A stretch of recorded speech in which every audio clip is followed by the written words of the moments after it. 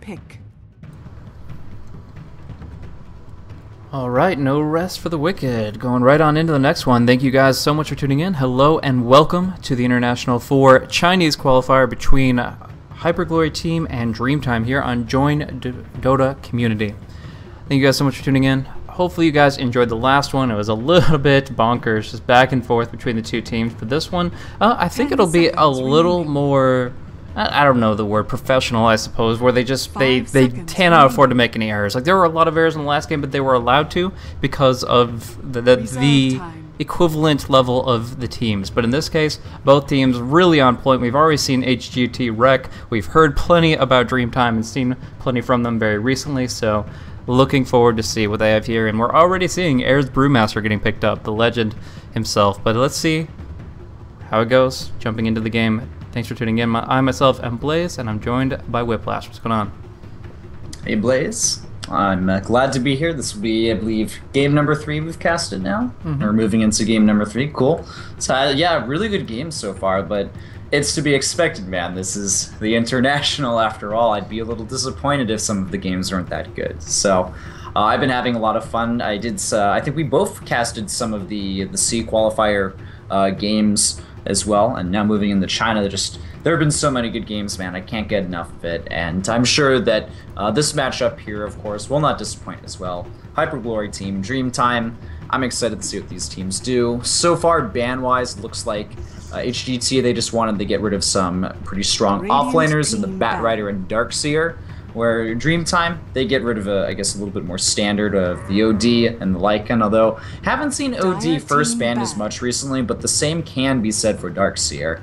And even after that, they banned the Axe out, which is a little interesting. But he's been kind of making his way into competitive play a little bit more recently into uh, certain lineups. So I suppose uh, if there's that's something that they're a bit afraid of, Dreamtime just don't want to deal with that. It's completely fine from their end. But uh, so far, you mentioned Five that the, the Brewmaster remaining. Picked up by Air. You like that.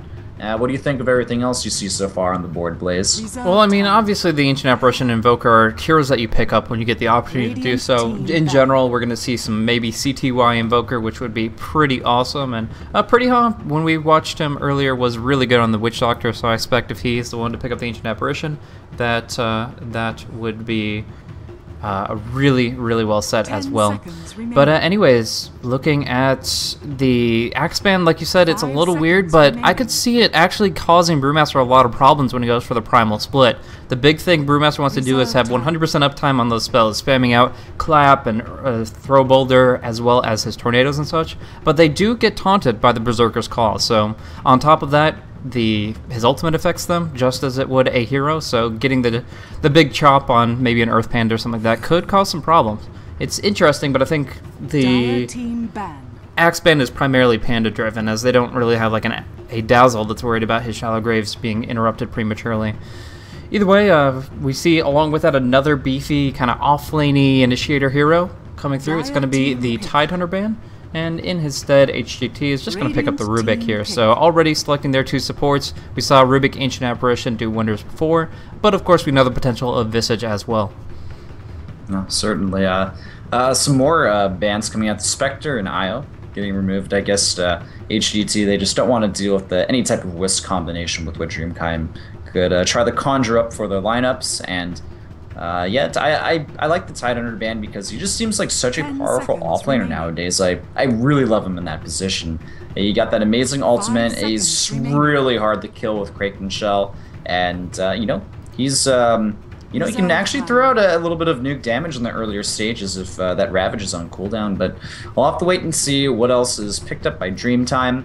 Uh, still, their their draft relatively, uh, you know, they still have three heroes, of course, to pick up. The Brewmaster, I guess, is that going to end up uh, in the mid lane, or are they going to try to put that somewhere else? I don't know, pretty much always runs the. Brewmaster in the mid. Uh, I mean, technically we have seen off-lane Brewmaster with boots first, but I mean that could be said about like literally any hero. I think SexyBamboe ran like an off-lane Rubick and did pretty well with that in the SEA qualifiers. So yeah, you can you can pretty much play it how you want to, but I'm almost positive Brew will be seen in the mid. And if he's up against the Invoker, the real problem that Invoker has is with that Drunken Haze. Not being able to last it causes him some grief because Brew can just, as you were talking about a little bit with the OD matchup, focus on denies. So yeah, if you get enough denies on an Invoker, he's not going to be as prevalent, he's not going to get a Midas up, and in general his experience is going to be pretty limited. So they're going to be relying on kills, that's where Ancient Empress and Lifestealer come in, but that's only assuming they get out of the laning phase uh, unscathed, because for right now, the laners from Dreamtime are pretty scary. Visage, it's been crowned the Try King for some time now. The Centaur War Runner is a hard one to beat back, and of course the Brewmaster is going to be effective in his own solo lane.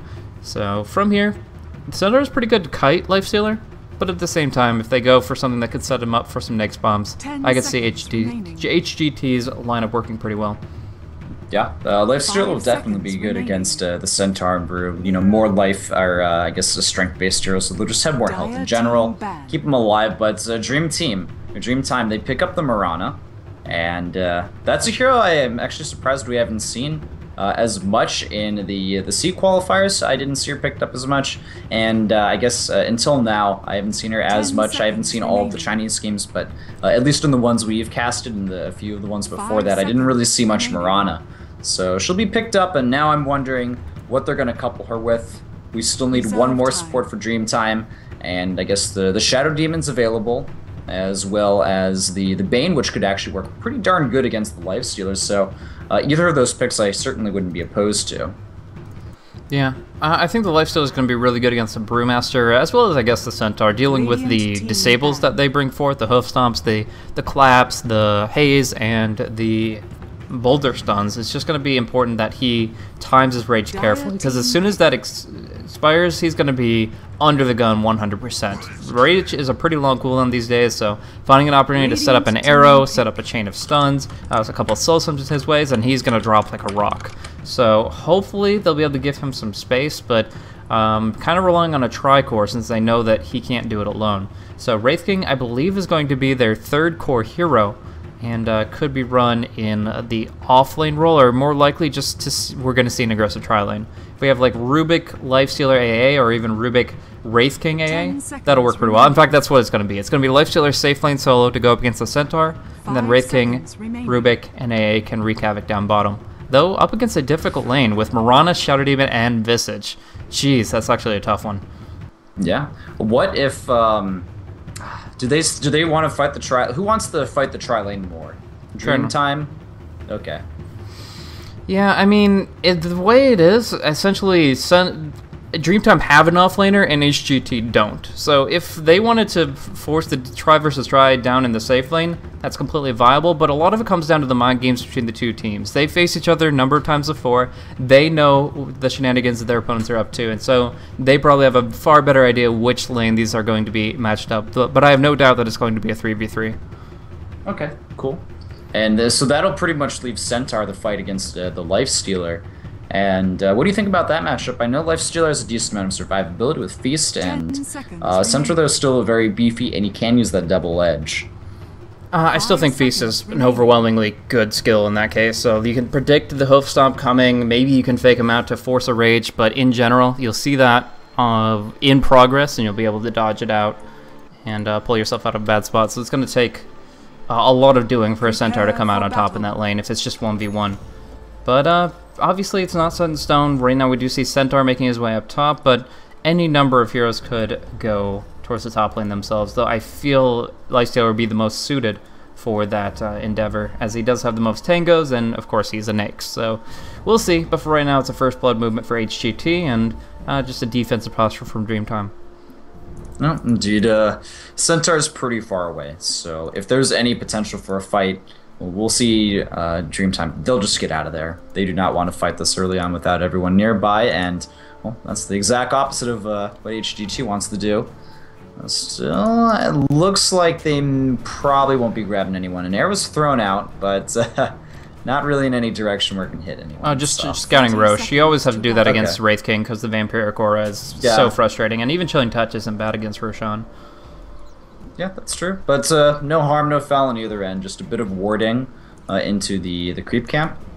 So other than that, yeah, everyone's just pretty content, and uh, we'll go back to the normal lanes. But uh, shall we do some player introductions before this game gets underway, Blaze? Sure enough, sure enough. Starting over on the side of Dreamtime in the Radiant corner, as we have a pause come through briefly, we do see it's going to be the Visage, played by Super.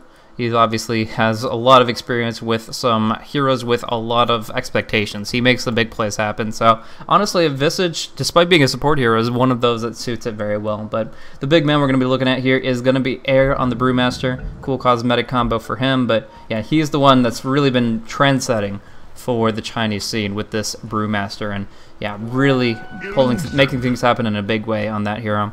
Anyways, the other support is going to be Dreamyu, using the Disruption to set up the arrows on the Shadow Demon, and alongside him is going to be XDD on that Mirana. So farming up in the number one carry position. The final hero, all the way at the top of the map, is going to be InJuly, um, starting off on the off lane as that Centaur and going up against the Naix. Yeah. And if we go ahead, move to the other side of the river, we have Hyper Glory team. We'll have ZSMJ on that Life Stealer. Into the mid lane, we have CTY as the Invoker. And moving over to that offensive tri lane, we got the support duo Pretty Hall on the Rubick and just S on Ancient Apparition. And finally, XTT will be handling the Wraith King, uh, just, you know, kind of, uh, you know, being at the front lines and doing what he can to try to make this offensive lane really work. Yeah. It's going to be very difficult, to be honest. I mean, there is a lot of value in what Wraith King and Ancient Apparition bring to a tri lane. Uh, the fact is, Chilling Touch and Wraithfire Blast are incredible spells, and Telekinesis isn't bad either. You can get a stun on essentially all three of the heroes if they're grouped up a little bit and if you position the secondary aspect of that ability appropriately. The problem is, unless they're getting some help with like Sunstrikes from the mid lane, they're still going to be outgunned by what DT bring. At level 2 in particular, the Disruption, Arrow, and then Grave Chill and Soul Assumption, that's just a quick burst to turn it into a 3v2 almost every single time. They might be able to send out the Visage, who starts off with a base armor of 0, as well as a base magic resistance of 10%, and that might be an opening for them, but otherwise, if he positions himself smart, it's still going to be an extremely harsh lane for them. Anyways, uh, it looks like the Invoker did have some connection issues, but he is coming back in, and CTY is good to go. Yeah, I think this disruption is just kind of the, the biggest problem for uh, Hyper Glory team and dealing with this uh, bottom lane. Uh, I mean, either you throw out the Wraithfire Blast, you get the Telekinesis, and this is like, well, I, I, there's not much follow-up until the, the damage from Chilling Touch comes in. But for now, it seems like Visage will just be doing a bit of dewarding so you can properly pull some creeps in this lane. And I guess so. the teams aren't immediately going for any really aggressive movements, but I mean, it's a tri-lane versus tri-lane scenario. Uh, we've seen that can change at any second. Yeah, unfortunately, they do put the Observer Ward right underneath the Sentry, and they don't really have the position and control to bait it out. They're just going to let it fall, unfortunately. Oh, maybe. It is a very difficult choke point to dodge out arrows in this position, so it looks like it is going to stay uh, for a few more hits at least. But uh, back in the pull camp, we do see that it is just going to be a successful pull into a secondary here on the Centaurs, and that'll clear out the entire creep wave. Uh, while we have minimal action going on, I actually want to highlight how smart it was for Super to Sentry as he did. First, he Sentries down bottom, which is the, the more common placement of Observer Wards. You see them here all the time, you see them here all the time, but he, after that, checks this camp to see if it's spawned, and then once he saw that that is spawned, he knows it's not a magic push ward, he can Sentry over here, and that's going to be clearing out any other location where it could be. So smart movement from him. In the end, he unlocks his pull, and we already see them taking advantage of it. Disruption, Soul Catcher, arrow to the face for Wraith King, but a turnaround with a Chilling Touch, perhaps. Oh, XCT is going to be the first blood, though, so there's really not much workaround for them to stand on. The Chilling Touch is only good in an offensive sense, and even somebody as big as Wraith King drops pretty quick to that Soul Catcher. Yeah, I mean, uh, Soul Assumption, man. It's mm -hmm. just the, the damage was done. And yeah, I, you know, Wraith King's decently beefy, but if you actually look at the health of all of these heroes, they're they're all pretty darn close at the the earlier stages. Of course, Wraith King now up to 625. Uh, you know, uh, thanks to being level two, it looks like he hasn't skilled up any points quite yet. So just uh, waiting on if he wants to, I guess maybe get some stats or vampiric aura, mortal, mortal strike, whatever he wants to get. Uh, he's he's simply waiting on that for the time being. Yeah. So CTY is going to be building up a Wex Invoker here, already starting to control runes with uh, that haste picked up now. Uh, Air is having a little more difficulty than he'd prefer here. He's going for a 2-0-2 build, perhaps ignoring the Drunken Haze entirely because he wants to focus on team fight. Uh, essentially, your options are controlling the lane with Drunken Haze, but that costs you a ton of mana, or conserving the mana for your big spells, the Clap and the Primal Split, and that um, enables you to do more in the big clashes. So for now, it is a 2-0-2 build. He gets those big crits out, and I'll respect whatever decision he makes. There's no way I can make pass judgment on somebody who plays that hero so expertly. oh, regardless of that, top lane probably nothing too crazy will go on either way. Just they'll attack each other back and forth. People will take damage. I guess no one will die, but Lifestealer has picked up an Orb of Venom, so he really wants to just uh, do his best to assert dominance in the lane for the time being. He's already uh, up to 20 last hits compared to the 12 of the Centaur, so he's doing pretty darn solid as far as last hits is concerned, just really topping the boards while mid lane quite even between both the Brewmaster and the Invoker. Just trying uh, to look for that four minute rune, and it's a regeneration rune, which Invoker picks up, gives him a little bit of extra mana, but uh, nothing really too much in the end.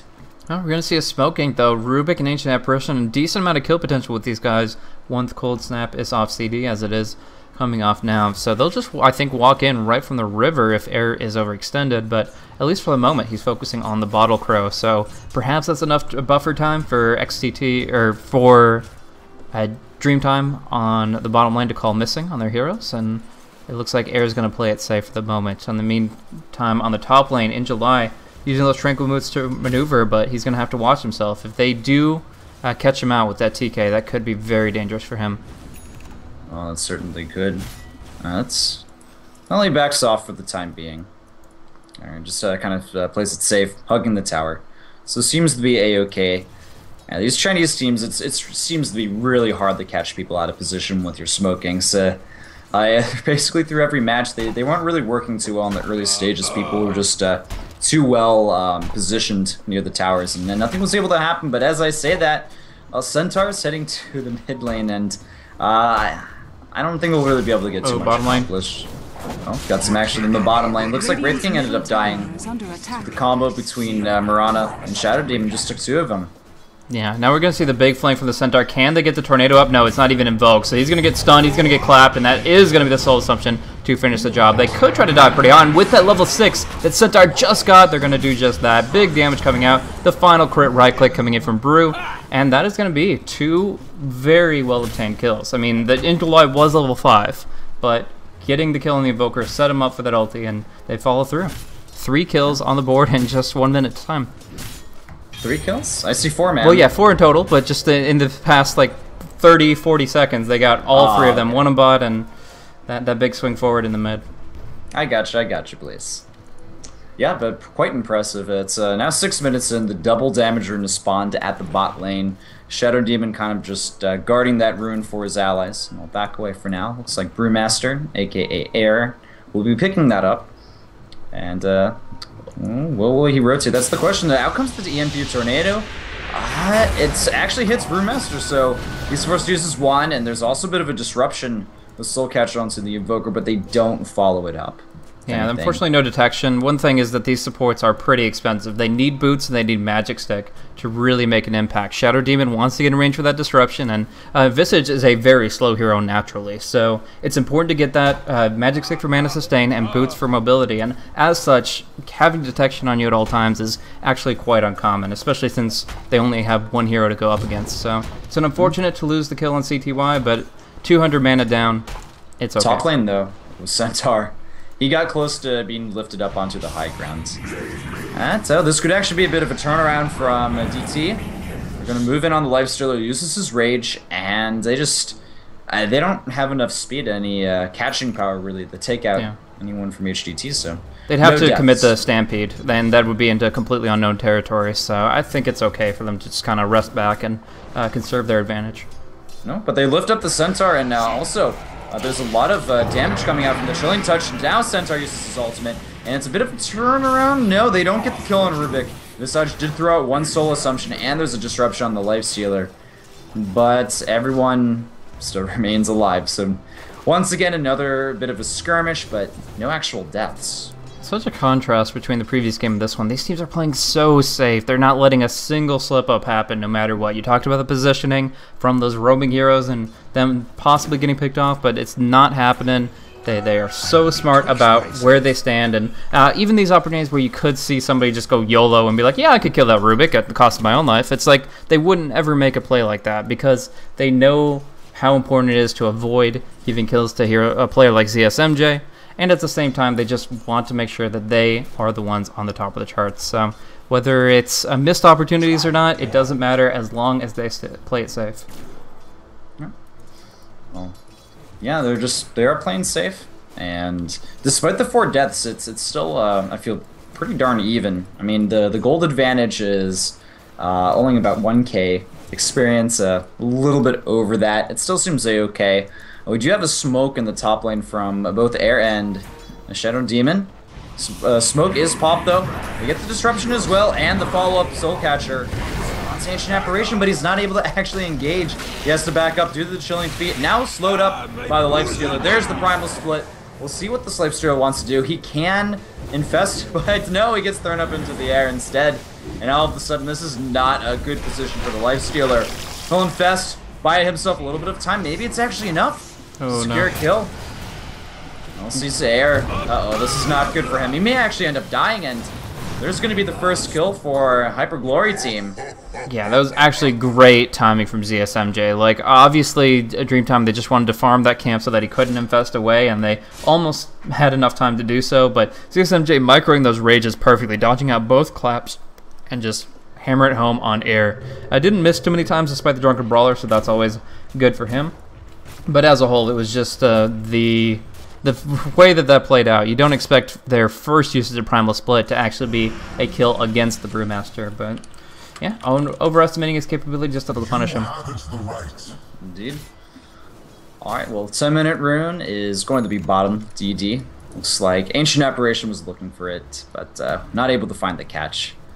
And uh, beyond that, people kind of just back to their lanes for the most part. You see Centaur just doing a bit of jungling for the time being. He's trying to work towards that Blink Dagger, but still uh, a bit of a ways away. He's getting there, but uh, it's not like a super early Blink Dagger uh, by any means for uh, DT. Uh, beyond that, the passivity kind of hits in for the time being as everyone just kind of you know reels back. So I think that kind of favors HGT. They really want to get this Ice Blast up. Right now, the the Ancient Apparition's build is a 1 3 1 and 1. So he's not really going for lane presence here. The Chilling Touch is the, the prime skill for lane presence, but the Ice Vortex is for everything after that, the big fights where they have all this magic damage flying out. So I do think kind of going for uh, Ice Vortex into Ice Blast, they really just, the, the one thing they need most of all is going to be getting him that level 6.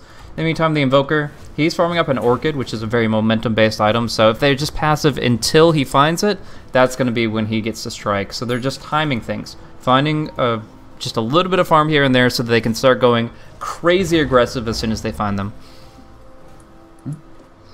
All right, well, there's a smoke from both the, the Brew and Shadow Demon once again, heading to the top lane, so they'll be joining uh, both the Visage and the Centaur. Ah, we'll see if they can make something happen. Wraith King has his ultimate up, and you know, Lifestealer is still pretty darn tanky. He has picked up drums, so he'll be moving pretty darn fast. And actually, the the smoke is broken. Been able to spot him. Let's see if Brewmaster actually he he's going in pretty far, looking for somebody to kill. He gets hit with a stun before he can throw down the thunderclap. He just backs away. But still, the the tower may just end up being the target at this point.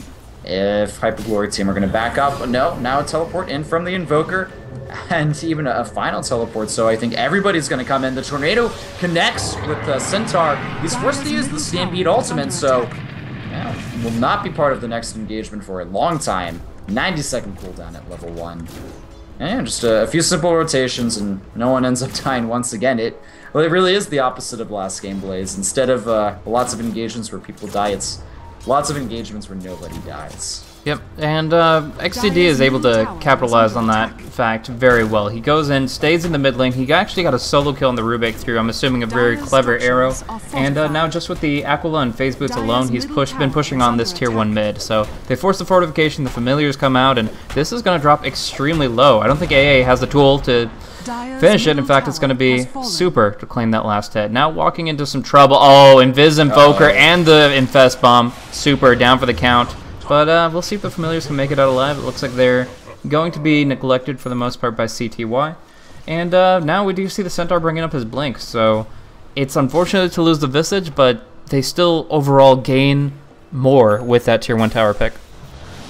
Yeah, I mean, Visage is, I guess, the, the lower priority target. If they lose him, it's probably better than almost anyone else, maybe except for the Shadow Demon. I guess it delays his mech a little bit more, but uh, he has his buckler already online, as well as some Tranquil Boots, so he's not in the worst position despite that death. Uh, he does need to put up those wards he has in his inventory, however. And now I'm wondering with this Blink Dagger, uh, Brewmaster as well should be pretty close to his Blink Dagger. He's up to 1900 gold if indeed that is the next item he does want to choose. We have the Stampede ready as well, so the three-man gank on mid could actually potentially kill Dire's someone this time. Is under attack. Yeah, they have everything they need. They have the Primal Split, they have the Stampede, uh, and even the Familiars can be involved in this here. So getting the clap, if they can stop this Ice Blast, it's going to be huge. But it already comes out. Now the Primal Split, and I'll let you take from here. Ouch, double kill actually from the Ancient Apparition. Mana Burn though kind of uh, stops things for a little bit there. Primal Split's used and well, really, they just throw people in the air and they back away. Uh, it's a two for one trade, so certainly not bad at all for DT. Dire's bottom tower. Yeah, now they get to blink on Brew, which makes that even more efficient. So the Ice Blast is available, but it didn't do much in that fight there, other than picking off the Shadow Demon on the back end. But that quick stomp, that quick double edge, just, just so much damage, and they don't really have an easy answer. Like we know the mech is coming soon on the Visage, but where is it on the side of HGT? I don't think anybody's going to be running it. Mm, no, doesn't really look like it.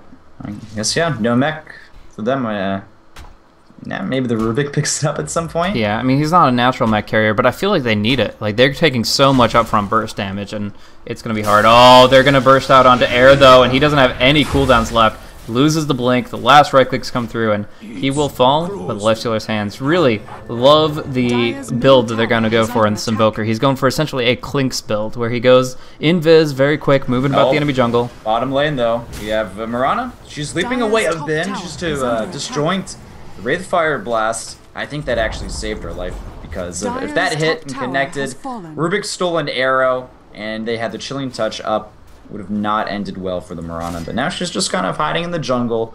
I've noticed she's picked up a hand of Midas and also has that Ring of Aquila available to her. So we'll really be focusing on farming for the time being. Uh, it looks like Invoker got picked off at the top lane by the, the Centaur Visage combo. Yeah, they, so they went and got that. He he was lurking about a little bit too aggressively. Uh, they didn't actually have the detection to route him out, but when he tried to go on the Centaur, the Visage was there. Simple Stampede, the Familiars get that max movement speed and they can drop down as necessary. So they turned it around in their favor, and uh, they were able to hold hold up down on bottom. So action across the map, but so far favoring DT. Yep. All right. Well, you have Lifestealer heading back towards the middle. Uh, still, uh, he has 71 last hits. It looks like he'll be moving into an armlet next uh, because he has that Helm of the Iron Will in his inventory. And uh, there's your Mekansm for the Visage, so DT really will be looking to do some more team fights in the near future. Ooh, arrow flies out, and actually connects with the Shadow Demon. Obiga. Oh, that was just brutal, man. He didn't even need all those spells on him to die, but yeah. Ice Blast, Tornado, with the arrow, just it was more than enough to take him out.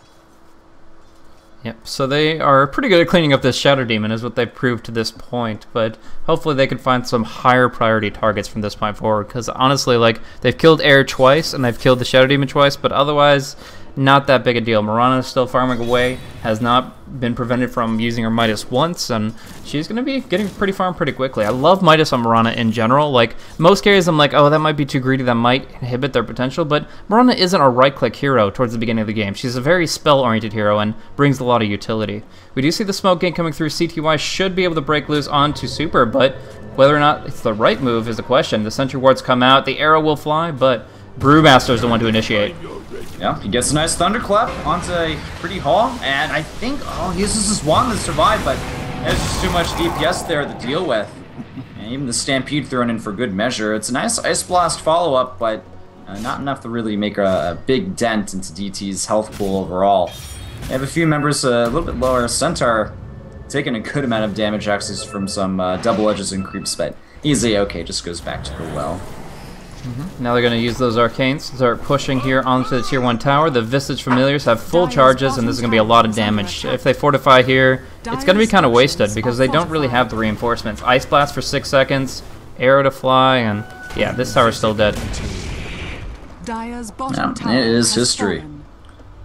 Okay, so I'm looking at uh, next big item pickups. Looks like Centaur may want to go ahead and get a Hood of Defiance, which I mean, Dire's Hyperglory team under have a pretty darn good um, uh, high amount of magic damage. I guess beyond the Life Stealer. Late game, of course, that'll change around, and Wraith King can throw in a few right clicks, and Life Stealer really gets online. But for now, the attack. Rubick, the Ancient Apparition, and the Invoker will really be, you know, doing a lot of that front end damage, along with the the spells from uh, or the spell single spell from Wraith King. Yeah, so we're going to see a smoke up behind Mirana trying to use her as bait once again. We'll see if the Ancient Apparition takes that. He can easily throw the Ice Blast, but they need some setup. So will Rubick walk right into Radiant's harm's way? We'll have to see. They don't break the smoke by walking close to the tower, and they're actually positioning themselves attack. very, very nicely. Blink in from July, they get the Stampede. They're already initiating onto AA, and he is going to go down very quickly. Wow, that's an easy double kill. Just nice initiation. Stampede being used very offensively for the majority of this game, and it's working great. Uh, just, uh, you know, attack. HGT, they weren't really on the right side of the map. And uh, we'll try to take some objectives, get some towers, but really, they've just lost a tier 2. tower has fallen. And I don't, I don't actually think they can take either of these tier ones. No, the, the reinforcements, the cavalry has arrived. XAT luckily picks up his blink at the right time, otherwise that would have been very problematic. But uh, I don't know. We're going to see some Invoker play moving in towards a very dangerous position with, again, that Naix Bomb available. It's actually one of the first times that I've seen Naix Bomb on Invoker. Like, it works very well, as we've seen. It's just, it's not the one that you, that comes to mind the second you think of Infest.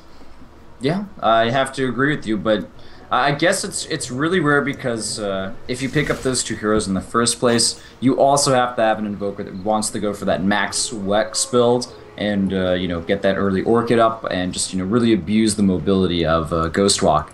And now we have uh, Mirana going ahead and using her Moonlight Radiant's Shadow, giving a little bit of cover attack. for DT, seeing if they can find any pickoffs, but well, the only pickoff may actually be this Mirana which this invoker is close to. He doesn't have an, a silence initiation yet, which is quite unfortunate, but at least he could maybe do like some type of tornado EMP. Rubik is nearby. Uh, I guess they just want the Rubik to be the bait, but actually there's Oh, what a leap. wow.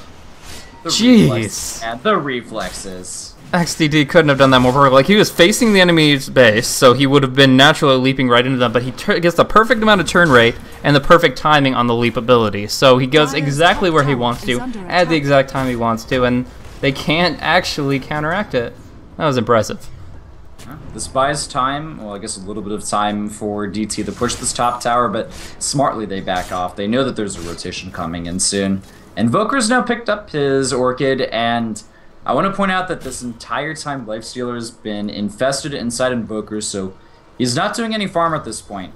He doesn't have any real items beyond the drums, phase boots, and I guess an Orb of Venom. So that is a, a bit of a concern. I think there's a few pings. Ancient Apparition may have been spotted. Yeah, it should be pretty yeah. easy.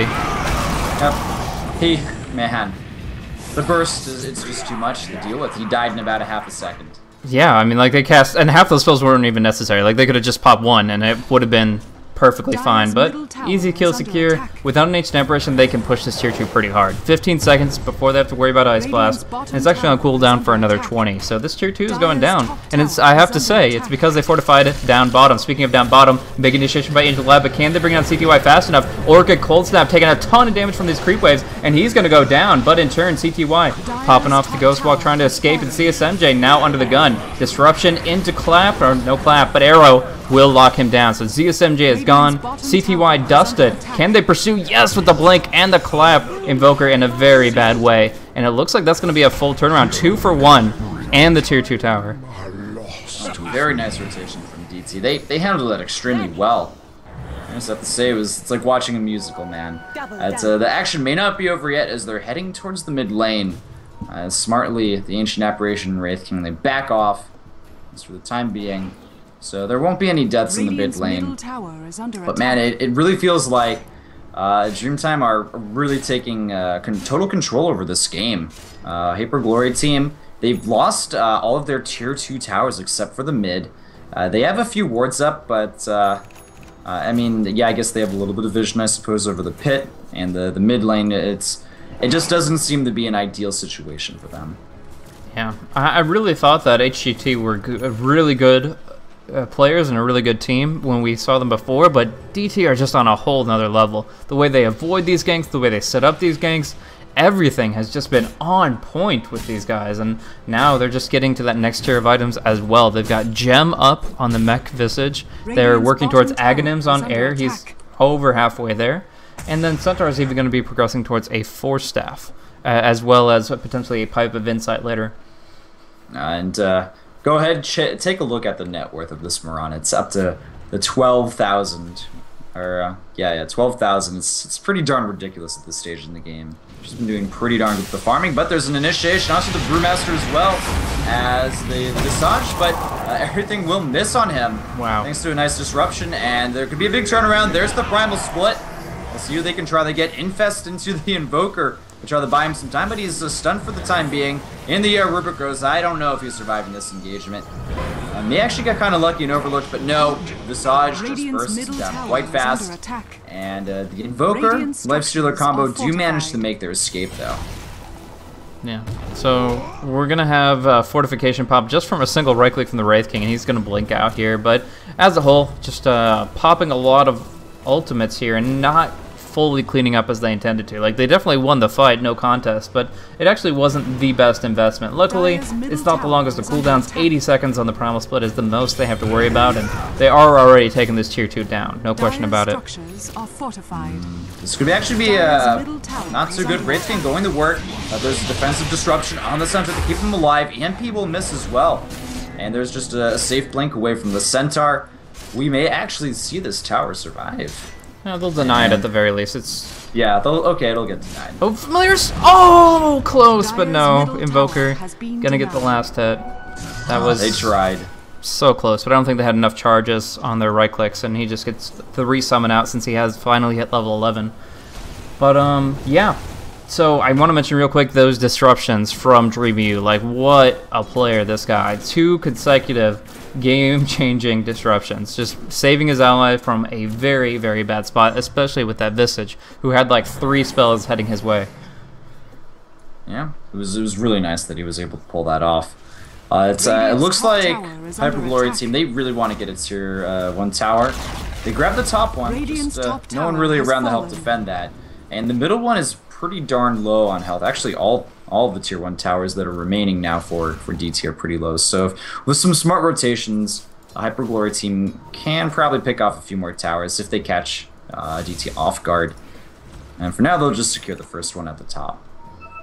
So we're going to be seeing a Desolator come out from the Mirana in a great position here now that she has the, the Linkens, the Midas, and the Phase Boots. She's like a like a Weaver build right now. It's very similar as far as mentality of just get in there really quick and dish out some crazy quick physical damage. It works well with the familiars, and uh, in general, they're that's the only thing they're lacking. They have a ton of damage that uh, works well on targets that are not immune to magic. A lot of magical damage, a lot of stun. And uh, that was really the only missing piece of the puzzle was that Desolator right click. So now they're very far ahead, and they're going to try to even uh, increase that advantage here with a pick on each apparition. But it looks like he's just slightly too far out of arm's reach. I think they were they were wise enough to know what was going on. So they just kind of uh, back off, throwing out an ancient apparition ice blast. I don't think that's really gonna do too much. I guess just scouting Roshan, which is where actually a lot of uh, Hyperglory team are kind of heading towards, and or excuse me, DT are heading towards, and they're actually going to work on Roshan. Uh, we're not really seeing any rotations quite yet from Hyperglory team. I are they going to try to contest this? I don't think they really can. They used the Ice Blast already to scout it out, so now they know what's going on, but they can do very little to change its fate. The Desolator speeds up the rush process. They're not really converging as 5, and we will see it go down uh, quite quickly. So Aegis here onto XDD, and all they get is a tier 1 tower in return.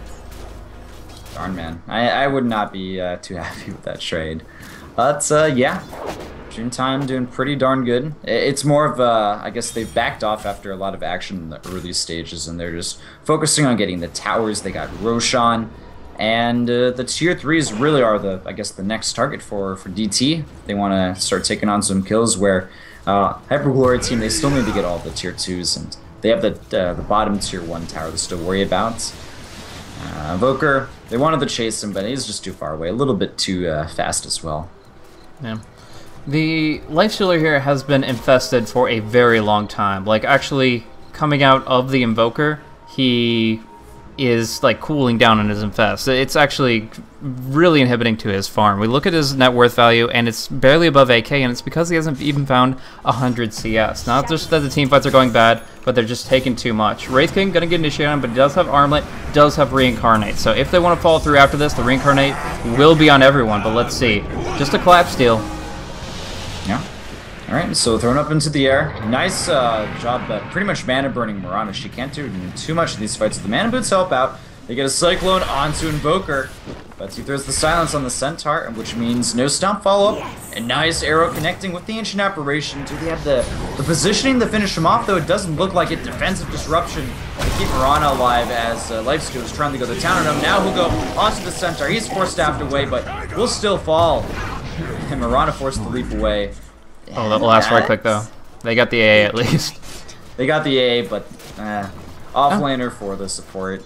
C2Y Not the played really well in that fight, especially. Like, the Tornado was solid, but the big thing was coming out of stun right when he was about to be chain stunned by the Centaur. He got the Orchid off, and they were able to, for the most part, disengage. If the arrow hadn't been eaten by the Chaldeer, then honestly they would have been perfectly fine in that position. But still, they hold it. They trade one for one. Uh, effectively, a, a trade up when you consider the roles of the two heroes. So eh, they're still definitely in this game. They have a lot of fight in them, but it's hard against an Aegis. Yeah, that's true. I, I that was really good uh, Orchid as well. That that really did make the difference, like you said. Uh, it's uh, regardless of that, Centaur will be back around in a few seconds. Ancient Apparition's already online. We see that Type of Glory team are just uh, farming up, uh, uh, I guess, two Ancient stack for the time being, giving their Life Stealers some desperately needed farm. But I say desperate, and he's completed his armlet and has 3k gold in the bank, so it's uh, not a bad amount. This Brewmaster Illusion will also do a little bit of scouting, so maybe we can see Dreamtime do a bit of a wraparound. They throw out an arrow, but it uh, does not connect. attack. Maybe able to grab someone else with this Life Stealer or the Invoker if they're not careful.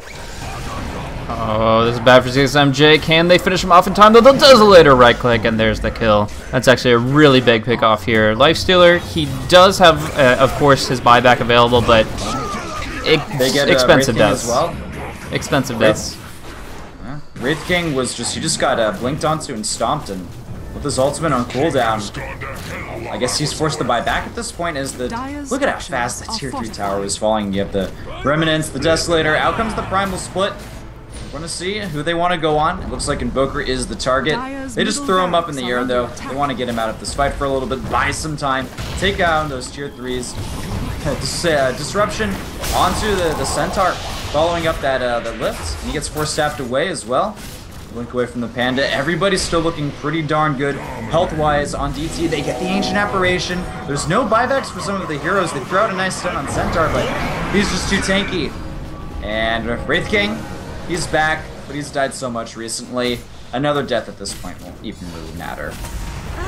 So the racks are going to fall for absolute certain. Lifestealer's going to try to come back in, but he's not even full life, so it's a little dangerous. A couple double stuns coming out, and there's the stomp, there's the arrow, and that's the second death of ZSMJ. He has no buyback now, and they even get the Invoker with that soul assumption. That is going to be it. No, yeah, just a very quick GG. It was there was a lot of I guess uh, action a little bit after the early stage, then very passive mid, and then just one push through the mid, and uh, in time they just end the game against that glory team. Yeah, very, very well played by Dreamtime. I am absolutely impressed by these guys, and it, I, I will eat my words, but I, I'm gonna say Dreamtime are easily a shoe in for the top two, like 100%. They they do have like everything the team needs to really hammer it home. Obviously, they have the performance record behind them. People knew they were going to do well, but this well, the way they're coordinating, the way they're timing everything, just just impeccable. And of course, on top of that, XDD is farming like a madman. We didn't talk about him that much this game because honestly, he was the only person that was like on the sidelines doing his own thing, while Dreamtime just wrecked and created space. But when it comes down to it, having a 587 GPM on a Mirana is not easy. She's not a flash farming hero, so finding that there, a very, very smooth game from XDD and from Dreamtime as a whole. That was a sight to behold, and I can't wait to see more of them. Uh, I don't really have anything else to that. I think you pretty much uh, hit the, the nail on the head there, Blaze. But a good game from a Hyperglory team. Just not enough to take out DT. And uh, yeah, I would be really surprised if they didn't come out uh, on top uh, in the qualifiers or really close to there. So I, I hope to see more from them as well because I haven't really checked out this team too much. But I'm very impressed from what I saw in this game. Absolutely.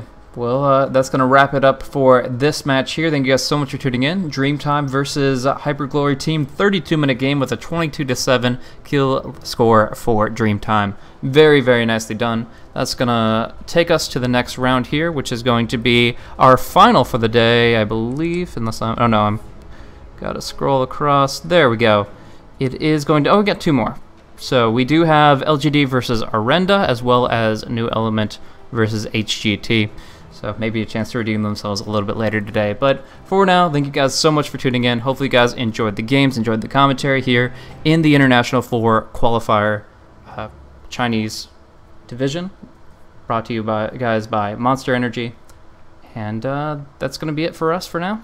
If you guys enjoyed the commentary, you can look us up on our respective social medias. I'm over on twitter.com slash blazecasting, and uh, Whiplash is over at twitter.com slash yeah Whiplash. So feel free to send us some constructive criticism or throw us a follow if you did like it and want to hear more from us. Anyways, thanks for your support, thank you for your viewership, and we'll see you guys on the next one.